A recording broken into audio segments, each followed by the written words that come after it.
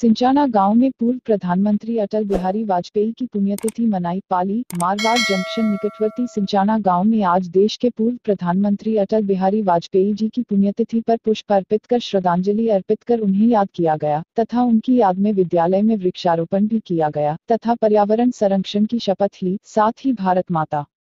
वंदे मातरम, अटल जिंदाबाद व जब तक सूरज चाँद रहेगा, वाजपेयी का नाम रहेगा की जय घोष के साथ उन्हें याद कर श्रद्धांजलि अर्पित की। इस मौके पर प्रधान सुमेर सिंह कुंपावत, दीपाराम चौधरी, बद्रीदास वैष्णव, लसाराम सीरवी, किशोर कुमार, जगदीश बोराना मनोहर दास अनिल दास, शिवलाल, राधेश्याम मगाराम व हरीश प्रजापत मौजूद थे।